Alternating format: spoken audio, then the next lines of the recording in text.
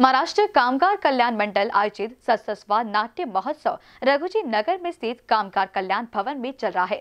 शुक्रवार शाम इस प्रतियोगिता में बंगला नंबर 18 इस नाटक का मंचन किया गया।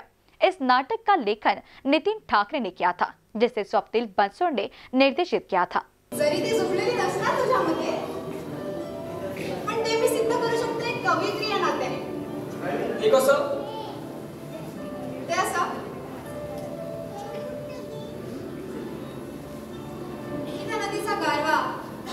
ओलावा त्या रोट्याला मिळत असतो. जी तुला इथे कोणी बसलं दिसलं का? नाही. अगं अगं इथेच होती ती. मॅडम मी तुम्हाला